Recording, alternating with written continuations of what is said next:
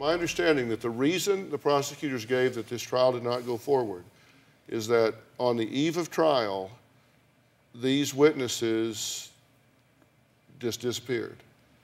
Now, according to someone we spoke to who claims she has knowledge of Michael Sylvester and his past and current whereabouts, she insists that in fact the Luzmans have been hiding Michael out, her words, not mine, first in Florida, then in Arizona, and most recently in California.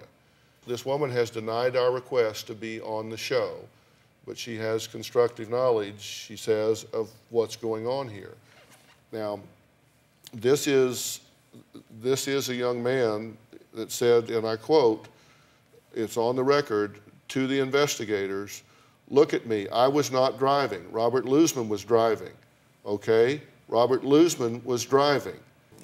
And then when we ask you about bringing him here, you said, he's not relevant to this. I don't want, you know, he's, he's not appropriate for this show. He wasn't charged with anything, and the reason I. That, that, that, what do you mean he wasn't? Well, what does that have to this do? This was about Robert being falsely accused. Right, but you're. And the does man, have to and the, and the person that is falsely accusing him, you say is not relevant to the show?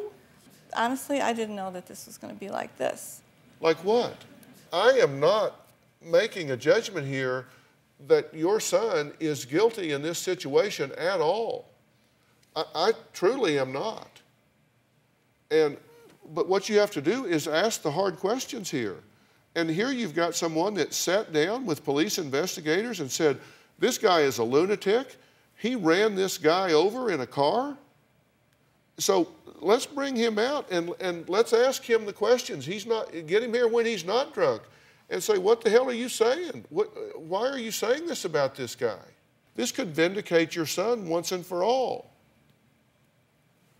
And and you don't want him here, that makes me wonder why. I have no presumption of guilt on the part of your son. The only thing that makes him look guilty to me is you. You seem to be hiding this guy. Um, I don't know where he was at 11 o'clock. I don't really want to do this anymore. You, I'm sorry? I just, I don't really want to do this anymore.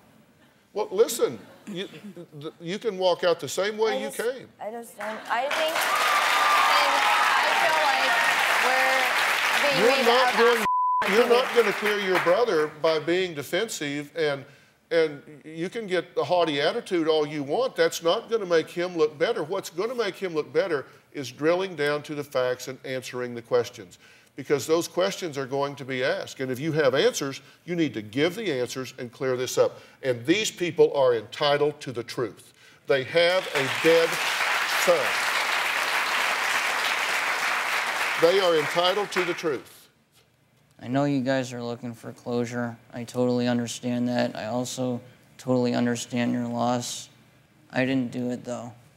I can't tell you who did do it. I don't know what happened to Alex. Are you willing to take a polygraph? Yeah. Why not? I don't think I should have to. Let me help you with that one. No.